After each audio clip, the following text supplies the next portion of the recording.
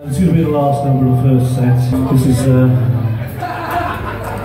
unfortunately, life will take advice too soon. This one's dedicated to Sian. Rest easy.